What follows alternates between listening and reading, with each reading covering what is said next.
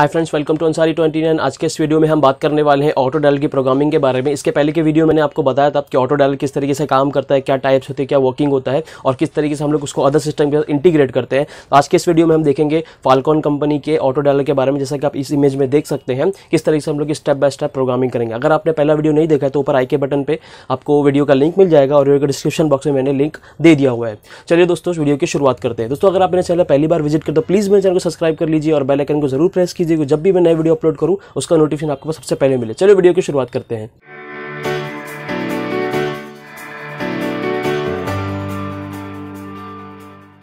तो फ्रेंड जैसा कि मैंने आपको बताया, मुझे प्रोग्रामिंग करना है तो प्रोग्रामिंग करने के लिए मुझे ऑटो किसी भी सिस्टम के साथ कनेक्ट नहीं करना है। और कंपनी ने इसमें जो कीपैड दिया हुआ है कीपैड के थ्रू ही हम लोग प्रोग्रामिंग करेंगे। इसमें ज़ीरो टू नाइन तक का नंबर्स आई एफ़ और हेल्प का जो बटन है, उसके थ्रू ही हम लोग जो है कंप्लीट इसमें प्रोग्रामिंग अपनी इंसर्ट करेंगे। तो मैंने प्रोग्रामिंग को तीन पार्ट में डिवाइड किया है। सबसे पहला पार्ट है, जिसमें हम लोग अपना जो ऑडियो है, वो हम लोग रिकॉर्ड करेंगे। और सेकेंड पार्ट में हम लोग ये देखेंगे कि जो भी हमने ऑडियो रिकॉर्ड किया है, वो परफेक्ट है यानी हम सुनेंगे। और थर्ड पार्ट में हम लोग ये देखेंगे कि जो भी हमें जिस नंबर पर हमें डायलिंग करवाना है, वो नंबर किस तरीके से मेमोरी में इंस्टॉल करना है। मेमोरी की अगर मैं बात करूँ तो फ्रेंड जिसकी जो मेमोरी होती है, वो नॉन वोलेटाइल मेमोरी है। नॉन वोलेटाइल मेमोरी का मतलब ये होता है कि जब भी आप जो भी प्रोग्राम आपने स्टोर कर दिया और अपने डिवाइस को टर्न ऑफ़ करके रख दिया, उसके बाद आप डिवाइस को टर्न ऑन करोगे तो आपकी मेमोरी इरेज नहीं होगी। जो भी आपने उसमें प्रोग्राम इंसर्ट किया, वो एज इट इज़ उसके अंदर एज इट इज़ रहेगा। वो डिलीट नहीं होगा। इसको बोलते हैं non volatile memory friends company ने इसमें फिफ्टीन फिफ्टीन नंबर्स की फैसिलिटी दी हुई है। Like fifteen numbers for fire fifteen telephone numbers for intrusion and fifteen telephone number for help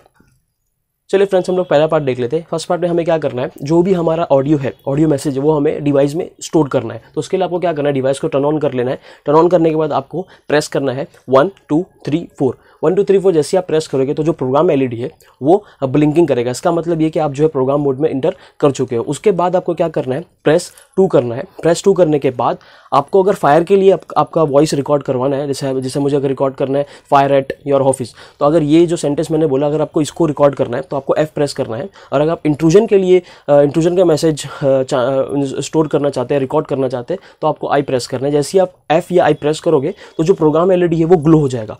और जो प्रोग्राम एल है, वो सिर्फ़ ट्वेंटी सेकंड के लिए ग्लो रहेगा और आपको इसी ट्वेंटी सेकंड के अंदर आपका जो भी वॉइस है, वो उसमें स्टोर करना है। एक बार ट्वेंटी सेकंड कंप्लीट हो गया तो आपका जो एलईडी है प्रोग्राम एलईडी वो ऑफ़ हो जाएगा। इसका मतलब आपका जो भी मैसेज है, वो ऑडियो मैसेज उसमें रिकॉर्ड हो चुका है। अब हम देखेंगे जो भी हमने वॉइस में रिकॉर्ड किया है, वो परफेक्ट है या नहीं। तो उसके लिए हम क्या करेंगे? Again one two three four press करेंगे।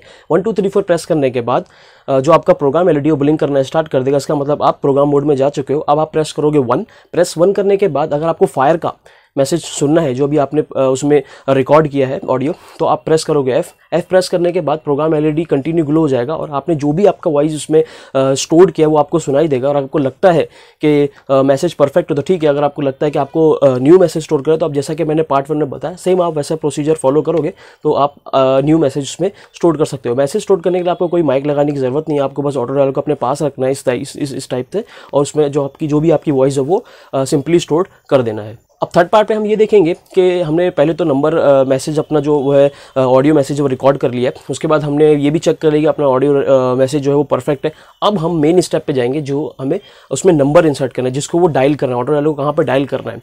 तो इसके लिए आपको क्या करना है? अगेन डिवाइस में वन टू थ्री फोर आप प्रेस करोगे तो प्रोग्राम एलईडी आपका ब्लिंक करना स्टार्ट कर देगा। इसका मतलब आप प्रोग्राम मोड में एंटर कर चुके हो। उसके बाद आपको प्रेस करना है थ्री थ्री प्रेस करने के बाद आप प्रेस करोगे एफ़ अगर आपको फायर के नंबर स्टोर करना है एफ़ प्रेस करने के बाद आपका जो प्रोग्राम एलईडी है वो ऑन हो जाएगा और आपको, आपका टेन डिजिट का सेलफोन नंबर उसमें इंसर्ट कर देना है। जैसे आप एंड आखिरी डिजिट आप जब इंसर्ट करोगे कीपैड के थ्रू उसके बाद आपको हेल्प प्रेस करना है। आप जब हेल्प प्रेस करोगे तो आपको एक लॉन्ग बीप सुनाई देगा। इसका मतलब ये कि आपका जो नंबर है वो परफेक्टली उसमें स्टोर हो चुका है। फिर आप सेकेंड नंबर डालोगे थर्ड नंबर डालोगे, हर एक नंबर के बाद आपको हेल्प प्रेस करना है ताकि आपका नंबर प्रॉपरली उस डिवाइस के अंदर स्टोर हो जाए। और फ्रेंड्स साथ ही टेस्टिंग की बात। टेस्टिंग करने के लिए आपको डिवाइस को टर्न ऑन कर देना है और डिवाइस को आम मोड में रखना है। अगर आप डिसम मोड में रखोगे तो आपको ट्रिगर नहीं ट्रिगर मिलने के बाद भी जो है वो बिल्कुल भी वर्क नहीं करेगा डायल नहीं करेगा। तो आपको उसको आम मोड में रख लेना आम मोड में जाने के लिए आपको सिंपली क्या करना है?